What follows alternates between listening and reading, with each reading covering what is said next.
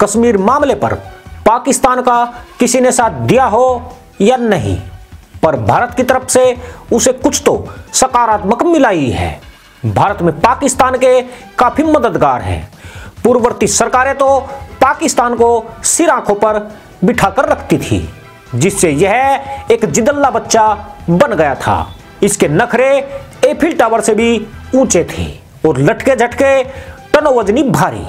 जिन्हें यह भारत की तरफ़ मटकाकर थिरकता रहता था। यूरोपियन यूनियन के नौ देशों के सांसद अपने दो दिवसीय दौरे पर कश्मीर को खुशगवार देखकर, जब पाकिस्तान पर बरसे तो भारत में मौजूद पाकिस्तान के मददगारों के पेट में दर्द होने पर सवाल ज़रूर बनता है। इनका तर्क है कि इन्हें कश्मीर क्यों नहीं भेजा गया? ईयू के सदस्य को तो भेजा जा रहा है। पर ऐसी बात नहीं है कि इन्हें कश्मीर नहीं भेजा गया हो। गुलाम नबी आज़ाद, माकपा नेता तिरगामी को भी 16 सितंबर को सुप्रीम कोर्ट ने कश्मीर में जाने की इजाज़त दी थी। पर सवाल यह है कि कांग्रेस पार्टी ने जो भारत विरोधी रुख अपनाया और जिस तरह कश्मीर को लेकर उसके बयान आए, उससे पाकिस्तानी प्रोपगेंडा को ही मदद मिली है। कांग्रेस के मुकाबले ईयू के सांसद ज़्यादा बेहतर हैं। क्योंकि कल जब इन्होंने पाकिस्तान को लताड़ लगाई, उससे अंतर्राष्ट्रीय स्तर पर भारत का पक्ष ज़्यादा मज़बूत हुआ है। कांग्रेसी या ओवैसी जैसे लोग होते तो उनके मुखारविंद से ऐसे प्रवचन स्फुटित होने का सवाल नहीं उठता। खास बात यह है कि भारत के मुसलमानों का बड़ा तबका कश्मीर में अनुच्छेद 370 और 35 से रिमूव हो जाने से प्रश्न है, जबकि कांग्रेस को लगता है इसे भी वोट बैंक के लिए इस्तेमाल किया जा सकता है। इसका मतलब क्या यही है कि कांग्रेस केवल वोट बैंक के लिए राजनीति करती है? कुछ लोग कहते हैं कि भारत सरकार कश्मीर मुद्दे का अंतरराष्ट्रीयकरण कर रही है, पर हकीकत यह है कि कांग्रेस से कश्मीर को ज़्यादा नुकसान हो रहा है। 5 अगस्त को संसद के पटल पर अधीर रंजन चौधरी द्वारा कश्मीर को यूएन का मसला बताकर क्या संदेश दिया गया?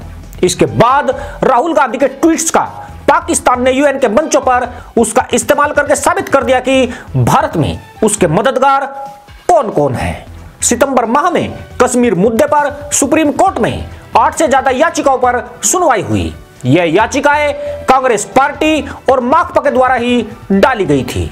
चौंकाने वाली बात यह है कि जनवरी 1990 में एक लाख पचास हज़ार हिंदू प्लान कर रहे थे, तब सत्ता में कांग्रेस ही थी। उस वक्त इसके चेहरे पर चिंता की एक लकीर नहीं थी, पर आज इन्हें कश्मीर की बड़ी फ़िक्र हो रही है। पर मामला यहाँ तक नहीं है। कांग्रेस की सत्ता से बेदखली दसवें साल में प्रवेश कर चुकी है। इन्हें सत्ता में रहने और जनता पर शासन करने का जो चस्का लगा, उसमें इन्होंने अपनी अंग्रेज़ी मानसिकता का कभी परित्याग नहीं किया।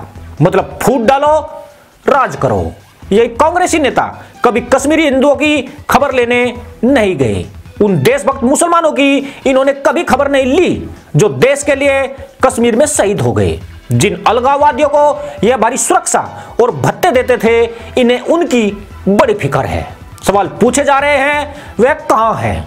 उनके जहरीले बोल क्यों सुनाई नहीं दे रहे हैं? यही बोल कांग्रेस में संजीवनी का काम करते हैं। अगर कांग्रेस को कश्मीरियों की इतनी फ़िक्र होती तो अपने ही देश में शरणार्थी बनकर जीने वाले कश्मीरियों पर भी एक दो ट्वीट्स तो ज़रूर बनते थे। इसी दोहरे व्यवहार के कारण कांग्रेस से लोगों का मोहबंग हो रहा है। कांग्रेस की मानसिकता केवल मोदी सरकार को असफल साबित करना और उसके फैसलों को गलत दिखाकर राजनीति करना रह गया है।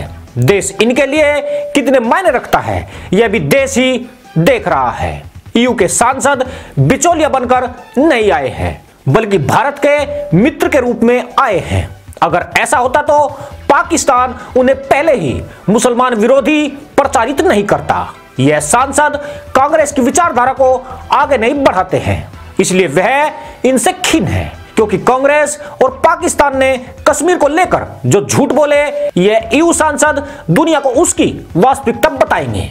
इससे पाकिस्तान के साथ साथ कांग्रेस के उस प्रोपेगेंडा की हवा निकलना भी तय है, जिसे यह दोनों नानी देवते प्रचारित करते रहे हैं। आशा है दोस्तों वीडियो पसंद आया होगा, आपसे शीघ्र भेंट होगी, तब तक के लिए अनुमति दीजिए। जय जवान, जय किसान, जय हिंद, वंदे मातरम।